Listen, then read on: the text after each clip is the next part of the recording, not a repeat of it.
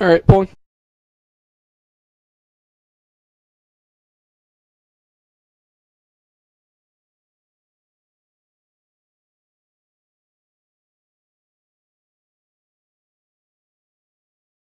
Val, do you have to leave after this?